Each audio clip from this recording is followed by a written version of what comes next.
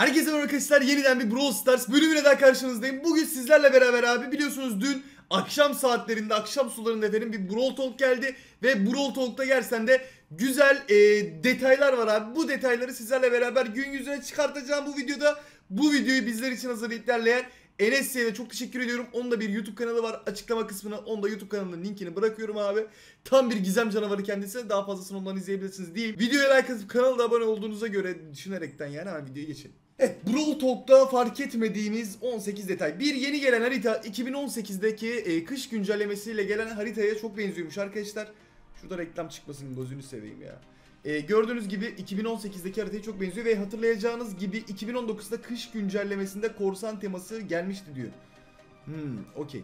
2019'daki de korsan, e, korsan, korsan teması. 2018'deki kış e, map'ine çok benziyormuş. Şu anki gelen e, map arkadaşlar zaten e, map'i fark etmişsinizdir Brawl Talk'ta.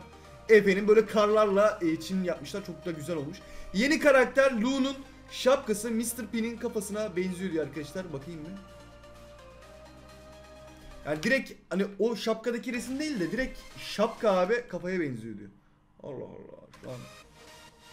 Yani evet benziyor. Üzerinde zil var. Resepsiyon zili. Evet evet benziyor. Tamam. Evet benziyor. Bu arada siz nasıl buldunuz arkadaşlar Brawl Talk'u? Aslında Mr. P'nin olduğu temadan geldiğini varsayarsak oldukça mantıklı. Evet doğru.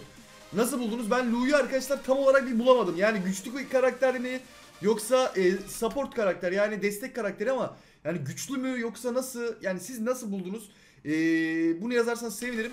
Sneak Peek videoları falan da gelecek arkadaşlar tabii her zaman olduğu gibi. E, o yüzden de kanalı takip etmeyi unutmayın ki daha detaylı incelemesini yapalım. Kafası ise Gale'ın şapkasına benziyor demiş. Kafası ise Gale'ın şapkası. Aa, aynen. İkisinin karışım bir karakter. Kafası da Gale'ın şapkasına benziyor. Okey. Mantıklı. Evet Gale da aynı temadan diyor. Aynen öyle. Üçlü tema zaten. Kar temalı. Üç karakter. Güzel. 4 Kasım'da e-spor dünya finali olacağından dolayı haritaların ortasında bir filigran gelecek demiş. Filigran. Filigran değil mi lan o? Filigran mı lan? Filigran mı filigran mı? Anlamadım.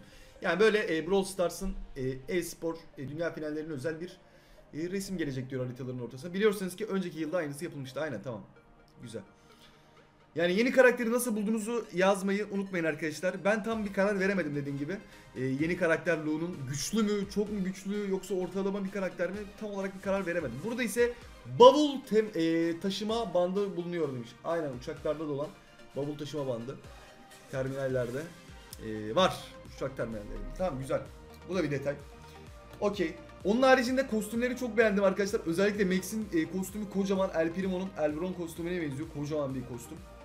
Daha çok otellerde ve havalimanlarında olur biliyorsunuz. Burası da otel olduğu için mantıklı demiş. Doğru. Evet detaylarımıza hızlı hızlı geçelim. Önemli detaylar da var. Buradaki kameralar e, kuşatma haritasındaki kenar e, kameralara benziyor demiş. Bakayım. Ha, aynen. Daha bir modifiye edilmiş hali gibi. Aynen. Doğru. Güzel detay. Başka hocam başka. Ee, yani arkadaşlar onun haricindeki kostümlerden Dynamite'ın kostümü muhtemelen Brawl Pass'in yine ilk aşamasında verilecek ki bavul mavul atıyor. Yani o da çok fena. Lu'nun ultisi dondurma sembolünü yavaş da olsa dolduruyor demiş. Ne? Ha aynen. Ya işte buradaki özellik arkadaşlar. Ultisiyle hani ultisinin içindeyken o e, dondurma özelliğini içindeyken de doldurabiliyor. Ama ve lakin ne bileyim abi yani 1-2 saniyede mi donduruyor öyle bir şey? Yani bu bence az. Karakter daha güçlü olabilirmiş. Bu bavul taşıma bandının üzerindeki bota binen iki robot var demiş. Aynen bu botlardan bir yerde daha vardı. Bu bot böyle yere doğru düşüyordu. Yani karakteri tam olarak arkadaşlar ben şey yapamadım ya. Çok mu güçlü yoksa ne bileyim yani Dediğim gibi yani o peek videolarında belli olur tam olaraktan ama Biliyorsunuz ki önceki güncellemede gelen temada da vardılar demiş. Aynen ben de onu hatırladım az önce söyledim. Yazmadan önce baktığımda ben biliyormuşum yani güzel. Fark ettiyseniz tüm kromatiklerin en az bir gözü kapalı. Bakayım ne? İki tane. Bunun bir tane gözü kapalı. Bunun diye iki gözü de kapalı. Bunun da iki gözü kapalı. Oğlum hepsinin.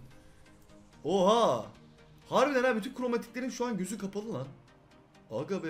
Bir tek Lu'nun bir tane gözü açık. Neden acaba? Aa güzel bir detay mesela bu çok hoş bir detaymış diğerlerine oranla. İlki çok güzel bir detay. Eski maplerden ol- olduğunu göstermek. Bir de bu. Detay hoşmuş. Dynamite'ın yeni skinindeki şapkasında Mr. P'nin gözü ve kaşları var. Aa oha! Yalnız bakın burada arkadaşlar çok iyi lan. Vay. Hmm. Bence güzel. Bu arada bu kostüm arkadaşlar neymiş lan bu Dynamite kostümü? Çok iyi değil mi? Yani atış ya ultisini bakın arkasında saklıyor bu ultisi, arkasında tuttuğu ultisi. Şunlar normal düz atışları ikisini birden atacak falan filan. Bence bu kostüm 10 numara abi ve Brawl Pass'in ilk aşamasında veriliyor.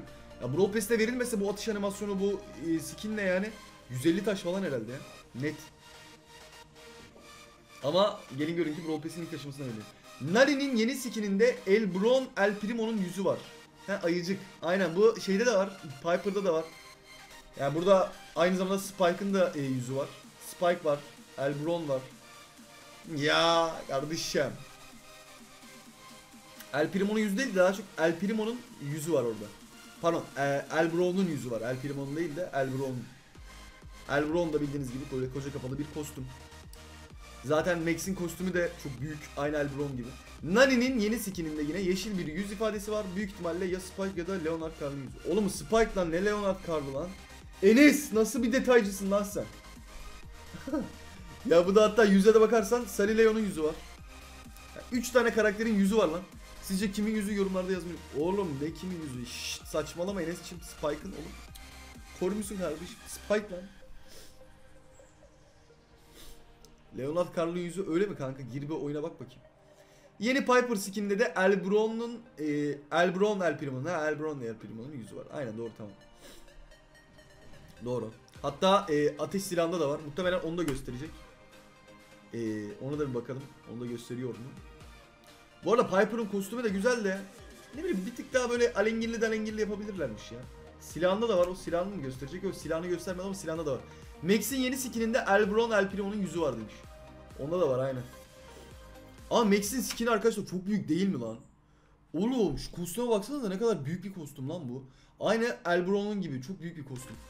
Sizce Elbron El Primo'nun yüzleri neden tüm Line skinlerinde var demiş. Aynen bu mesela sorulacak bir soru. Güzel mantıklı bir soru. Sizce neden arkadaşlar? Bütün eee, bu eee, şeylerde Line kostümlerinde bu Elbron'un yüzü var. Neden acaba bilmiyorum. Max'in yeni e, kostümünün kalp efektli ile atış yapacak. Aynen kalpli. Şey gibi vuruyor abi. Siz söyleyin ismini. Colette gibi vuruyor. Atışları Colette'in atışlarına çok benziyor. Ama Max'in kostümünü ben çok beğendim. Bu arada en beğendiğiniz kostümü de yorumlar kısmına yazabilirsiniz. Ben Max'in kostümünü çok beğendim arkadaşlar. Bir de Dynamite'ın bir de Nani'nin. Ben hepsini beğendim galiba. Ve kalp emojisi çıkartacak demiş. Aa! Aa bu detay. Bu detayı yeni gördüm. Biz canlı yayında bunu yavaş çekimde izlediğimizde kalp attığını gördük ama burada bir kalp şeyinin çıktığını görmemiştik. Hatırlarsanız Elbron'da da e, vurdukça arkadaşlar böyle bir şimşek falan çıkıyor. Böyle değişik bir şey çıkıyor yukarısında kafasında normal maç içindeyken. Demek ki bunda da böyle kendiliğinden çıkacak bu emoji haberiniz olsun. Yeni gelecek harita bölmesi harita yapıcı ile alakalı olacak demiş. Okey. Ve bu da işte ilk önce arkadaşlarınızı onaylatıyorsunuz sonra dünya çapındaki insanları onaylattırıp normal sonuç olduğu an olarak gelebiliyor rengi. Bölme haritalarımızı diğer oyunculara sunacağımız bir yer olacak demiş. Okey biliyorum. İkinci bölme ise seçilen haritanın 24 saat kalacağı bölme olacak demiş. Hmm. Güzel. Evet bunları anladık. 18 ayrıca eğer oylarsanız 10 jeton ya kazanacaksınız ya da kaybedeceksiniz. Nasıl yani lan? Ayrıca eğer oylarsanız 10 jeton ya kazanacaksınız ya kaybedeceksiniz. Neden kazanacağız neden kaybedeceğiz orasını pek anlamadım açıkçası arkadaşlar. Ama büyük ihtimalle oy verdiğimiz için 10 jetonluk bir ödül alacağız. Ya bence de yani oy verdiğimiz için 10 jeton alacağız. Ha güzelmiş. Sizce bunlar gerekli mi? Yorumlarda yazmayı unutmayın demiş. Ya bence gerekli olabilir yani sonuçta ilginç bir şey arkadaşlar. Siz ne düşünüyorsunuz? Yani gerekli mi gerekli mi değil mi onu bilemeyiz ama her beğendiğimiz harita için 10 jeton kazanmak bence mantıklı. Arkadaşlar diyeyim. Ben e, videoyu burada e, noktalandırayım arkadaşlar. Brawl Talk'taki detaylar bu şekildeydi. Enes tekrar teşekkürler. Dediğim gibi YouTube kanalının linkini açıklama kısmına koyacağım. Ee, kanalı takip etmeyi ve videoları beğenmeyi unutmayın ki arkadaşlar. Yeni gelecek sneakliklerle de hem kostümleri hem de karakteri inceleyeceğimiz bölümler olacak. O yüzden takipte kalın diyorum ve bunların çekilişini de sizlere Nonalive canlı yayın sayfam üzerinden yapacağım. Onun da linkini açıklama kısmına bırakıyorum. Mutlaka ee, açtığımız yayınlara gelin arkadaşlar ki çekilişlerden faydalanın diyeyim. Ben burada videoyu noktalandırayım arkadaşlar. Umarım da video hoşunuza gitmiştir. Like atmayı ve kanala abone değilseniz efendim abone olmayı unutmazsanız sevinirim arkadaşlar. Kendinize cici bakın. Hoşçakalın ve bay bay.